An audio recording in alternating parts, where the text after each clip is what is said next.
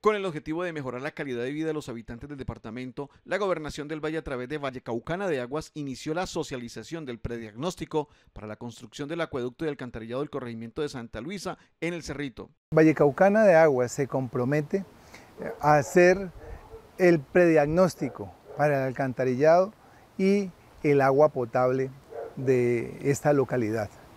Con este inicio del proyecto se va a beneficiar a más de 600 personas, las cuales viven en más de 100 viviendas.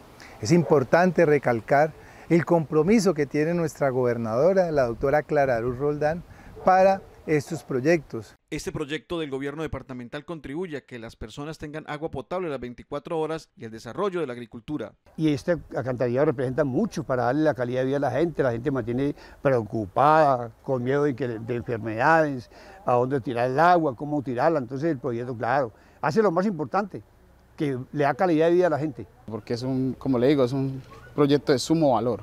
Lo necesitamos urgentemente en esta comunidad para todas las viviendas, para el mejoramiento de agua, el mejoramiento del río, mejoramiento de todo. Queremos agradecerle a la doctora Clara Luz Roldán eh, para que nos ayude con este lindo proyecto que es el alcantarillado. El gobierno del Valle continúa con la reactivación económica de la región con la construcción de estas obras.